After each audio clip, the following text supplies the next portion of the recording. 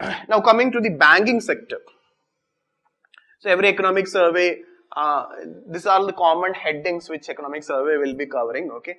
Uh, regarding the uh, banking sector, the important points to be noted, okay. So we will, we are again taking the latest data, okay.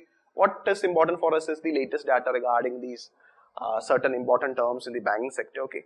So in the banking sector, what economic survey is saying is, the gross non-performing asset. Okay, you are supposed to know what is the general trend of the gross non-performing asset or gross non-performing advances. So the gross non-performing ratio of scheduled commercial banks has remained the same. Okay, so just for your understanding, the the current gross non-performing asset ratio of all the scheduled commercial bank is somewhere around 9.3 percentage in uh, in September Okay, so it is remained. It, it is in 2019. The gross NPA is remain uh, is remaining around 9.3 percentage. That just for your information, you note down. Then regarding the capital to risk weighted asset ratio, capital of scheduled commercial banks have improved. Okay, so that is one good thing. Uh, from March 2019 to September 2019, the capital adequacy ratio or capital to risk weighted asset ratio have improved from 14.3 percentage to 15.1 percentage. And this improvement is mainly because of the capital adequacy improvement of the public sector banks. Okay. So just for your kind information, the capital adequacy ratio of the scheduled commercial banks in India have improved in the year 2019, mainly because of the improvement in the uh, public sector banks. So it is somewhere around 15.1 percentage in 2019. This is regarding capital adequacy ratio. And gross non-performing assets is uh, remained at 9.3 percent. Still at high, but comparatively in the last few years, it is it is coming down. Gross non-performing assets. These are the two important points you need to uh, stress. Okay. Then economic survey also talked about monetary transmission. Okay. So what is happening in our monetary transmission? First, you need to understand what is monetary transmission. See, monetary transmission means when RBI in the monetary policy, we know that RBI every two months, uh, in, there will be a bi-monthly monetary policy. Okay. So basically in the bi-monthly monetary policy, RBI takes a decision regarding repo rate. That's why it is called as policy rate. So the policy repo rate either may decrease or increase. But in the last two years, especially in 19, 2019 and 2020, there have been a continuous cut in the repo rate. So we have seen the RBI in 2019 cutting the repo rate and then after in 2020 after the lockdown RBI have cut the repo rate. So when RBI cut the repo rate whether so repo rate has come down RBI's rate has come down policy rate has come down but whether so this should benefit the end customer na so there has to be lower lending rate bank should lower their lending rate to the customers so if bank is lowering the lending rate, then we can say that monetary transmission is happening. RBI cut the repo rate and that cut bank is doing it for their customer. So whether this monetary transmission is happening or not is a big concern and uh, in the last few years there have been the monetary transmission is ineffective. When RBI cut in 2019 RBI cut by more than 100 basis point the nearly 40 percentage only uh, lending rate have been cut by the bank. So RBI is very much concerned about the failure of the monetary transmission. Okay, so that is being discussed here. So in 2019, monetary transmission has been weak on three counts. This is what economic survey says that. Okay, in 2019, monetary transmission has been weak in three counts. One, based on the rate structure. On rate structure, it is weak, monetary transmission is weak. Based on the quantity of credit, how much credit the bank give, that is weak. And also in the term structure. So these are the three, on three accounts, on three accounts, on, on three areas, monetary transmission has been weak. So this has been well discussed in the economic survey. We will see that, we will see one by one, uh, uh, why uh, or how this monetary transmission have been weak in three counts. So if you look into the rate structure, Okay. The weighted average lending rate. So taking all the lending rates, okay, weighted average lending rates of scheduled commercial bank has not declined at all in 2019 despite reduction of repo rate by 135 basis points. So from if you take January 2019 to December 2019, RBI have cut the repo rate by 135 basis point. But the lending rate, if you look into the weighted average lending rate, there is no change in the weighted average lending rate. It has not declined. So this is one signal that monetary transmission has been weak or failed. Now if you look into the credit spread, credit spread is the difference between the repo rate and the weighted average lending rate. So if you look into the credit spread, the difference between repo rate and weighted average lending rate, it is at the highest level. The credit spread is at the highest level. Okay. And the weighted average lending rate on outstanding loan of scheduled commercial bank is 525 basis point higher than the repo rate. Weighted average lending rate is 525 basis point higher than the repo rate, suggesting that there has been no monetary transmission. Even though in 2019 RBI have cut the repo rate by 135 basis point. So in when you take the rate structure, it is very clear the credit spread is very high, nearly 535 basis point. So the weighted average lending rate and the repo rate is having a huge difference. So in that way in 2019, when you take the rate, monetary transmission has been weak.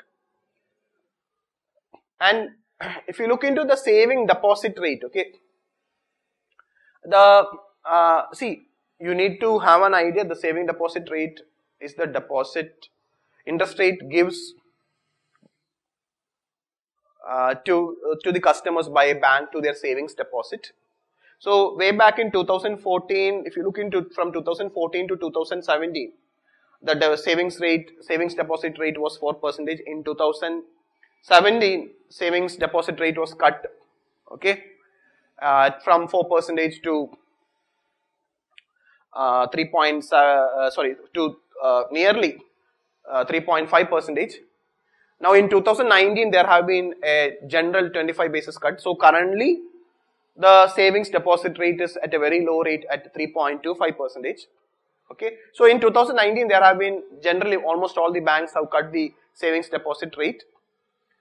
Now, why the monetary transmission have failed?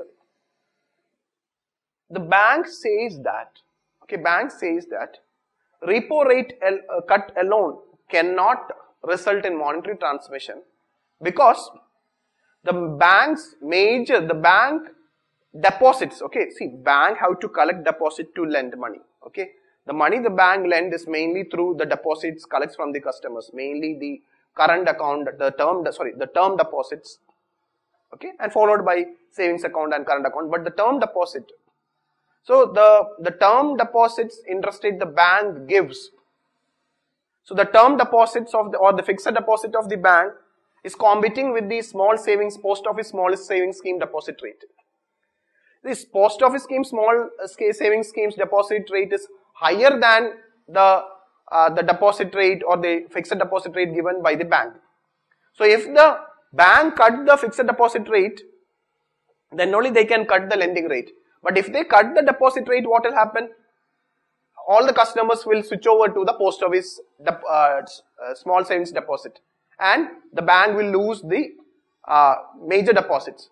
So that's the reason why bank says that, okay, uh, proportionally the government have to reduce the small savings schemes interest rate because government is fixing the interest rate for small savings scheme. So one of the reason, an important limiting factor uh, seems to be why monetary transmission is failing is that the rate on small savings schemes like public provident fund. Okay, public provident fund, there are many small scheme schemes are there. Post office deposit, uh, small post office deposit schemes are there. So this is, this is decided by the government every quarterly. Uh, based on the government securities yield is comparatively higher. So anyway, so this you keep in mind, okay. why monetary transmission is failing. Okay. So in uh, in 2000, just a comparison. Okay, in 2014,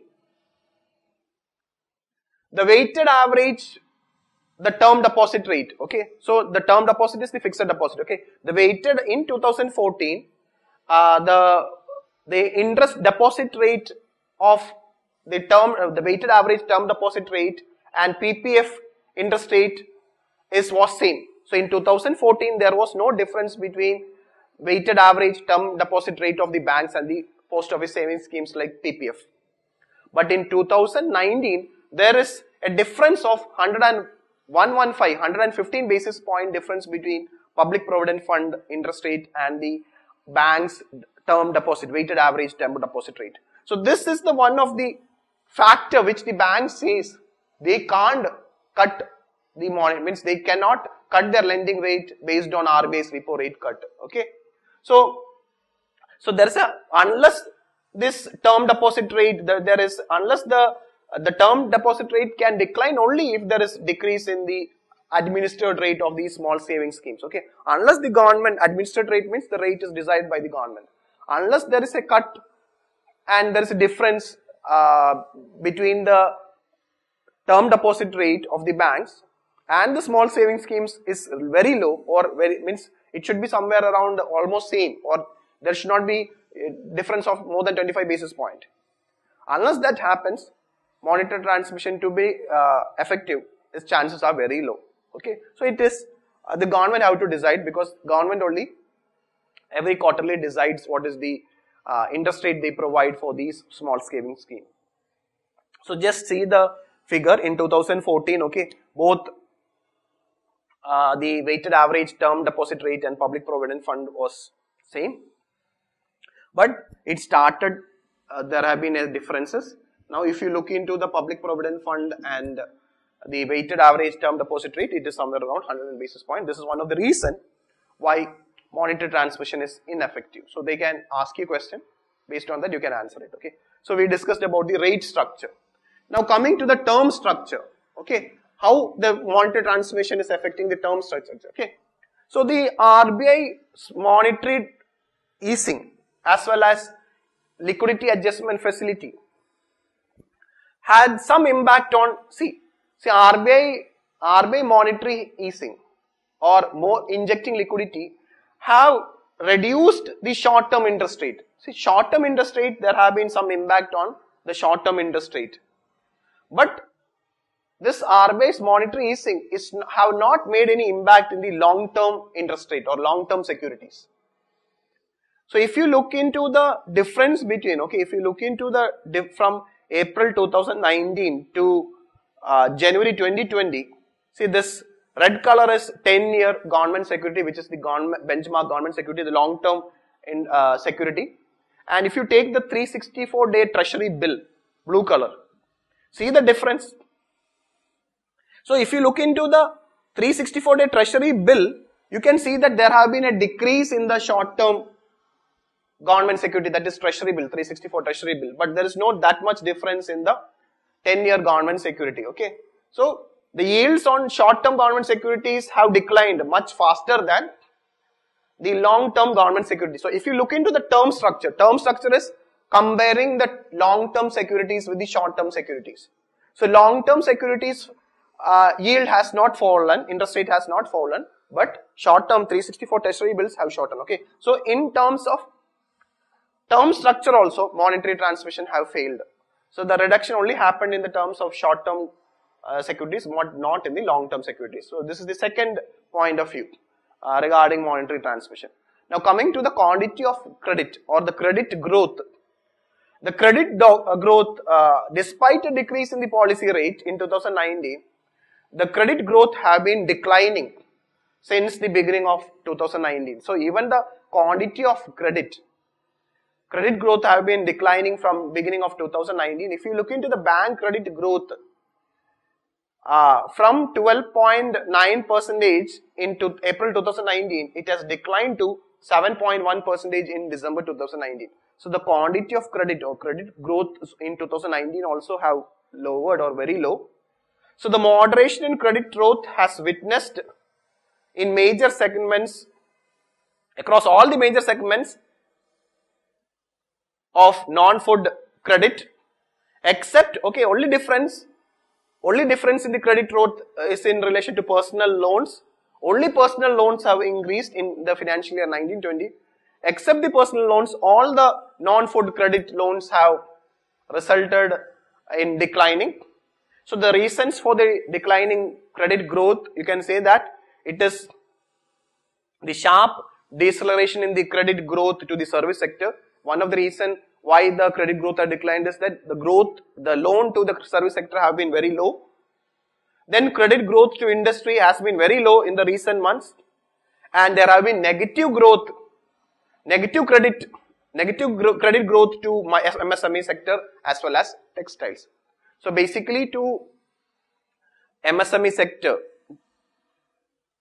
uh, then industrial sector, service sector, there have been continuous decline in the credit.